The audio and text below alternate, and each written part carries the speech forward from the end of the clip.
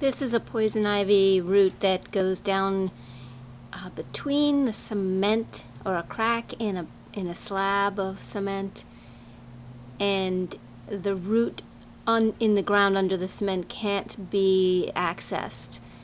So we've left a little bit of the root exposed extending up the um, about you know six or eight inches out of the cement and from that root Vines have been growing during the summer, and each chance we get, we take the leaves off of the vines.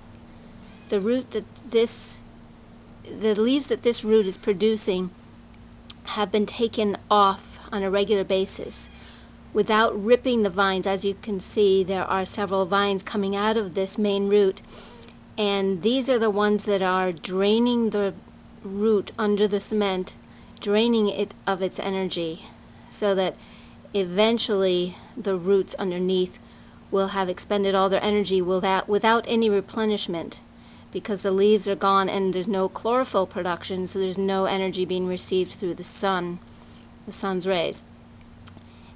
Um, these, this is a Friday, these leaves were plucked on Monday and there's nothing showing basically yet. As we get closer you'll see the black spots on the vines. That's where the plucking took place. There's always a little bit of black. Um, that's the color of the oil, I believe, once it's been oxidized.